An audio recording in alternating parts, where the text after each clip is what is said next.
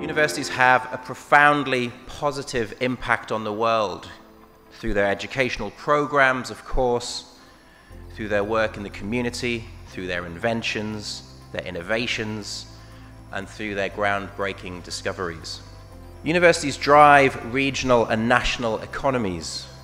More profoundly, they help us to understand what it is to be human. They make the world a better place. Higher education institution and emerging economy need to build shared, integrated, long-term strategies for education. We have a unique opportunity to make our higher education institutions more centrally connected to significant challenges ahead for our societies, both globally and locally.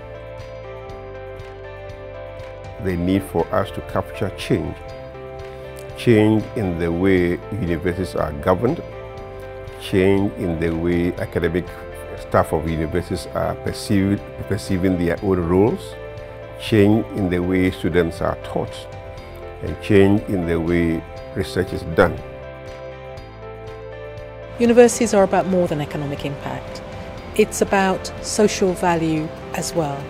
It's about the contribution that we can make to society, to the world. It's about the difference that we make. It's also about the personal development of our students. We want them to become uh, the kind of people who are global citizens. I can, can testify that industrial academic relationships are marriages and you have to be in it for the long haul. Right now at ASU, we are working with various companies with our innovation campus with what we call the one campus view. When Amazon was looking for the HQ2, we had bid to Amazon about this concept, where we said it is not about university and industry, but it is about one campus of the university and industry.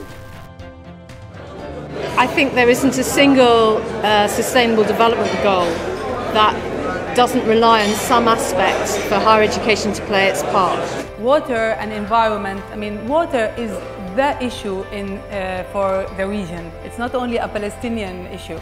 So, and actually a hindrance to peace, to peace talks. If you want to take any grand challenge problem, be it sustainability, be it health, be it energy, be it you know capacity development, whatever that might be, you know the more we work together, the more can be accomplished. Uh, research in teaching and community engagement, and so it will benefit. Um, it will benefit all.